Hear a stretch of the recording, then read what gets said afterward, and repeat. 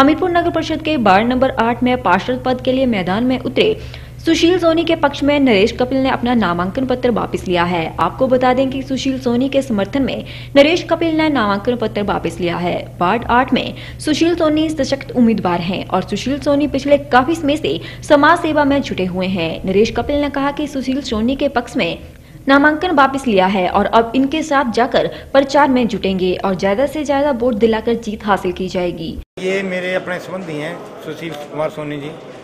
इनके पक्ष में मैं अपने विड्रॉल करने जा रहा हूँ, क्योंकि मेरा फुल इनके लिए वोट सपोर्ट एंड इलेक्शन जो भी मेरी मदद होगी, मैं इनके लिए करने को तैयार हूँ। जगह जगह इनके वार्ड के लिए घूमूँगा कन्वर्सिंग करूँगा और ज़्यादा से ज़्यादा इनको वोट दिलाने की कोशिश करूँगा। वहीं इस अवसर पर पार्षद पद के उम्मीदवार सुशील सोनी ने नरेश कपिल का आभार व्यक्त किया और कहा कि पूरी आशा है कि मेरे साथ बाढ़ में वोट के लिए प्रचार करेंगे। उन्होंने बाढ़ के बाशिंदों को आश्वासन दिया है कि बाढ़ के लोगों की समस्याओं को दूर करने के लिए मिलजुल कर काम करेंगे। बड़े भाई नरेश कपिल जी का दिल की गहराइयों से हार्दिक अभिनंदन करता हूँ।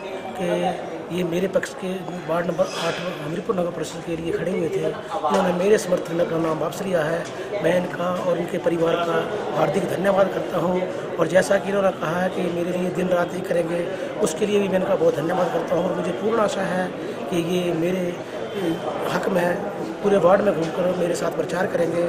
इसका मुझे बहुत फ़ायदा हुआ और मैं आपको ये विश्वास लाता हूँ, वार्ड नंबर आठ के निवासियों को कि हम दोनों भाई इकट्ठे होकर चुनाव लड़कर चुनाव जीतेंगे और जो वार्ड नंबर आठ की समस्या हैं, उनका, जो भी पूरी समस्या उनका समाधान करने में कोई कसर नहीं छोड़ेंगे। धन्यवाद।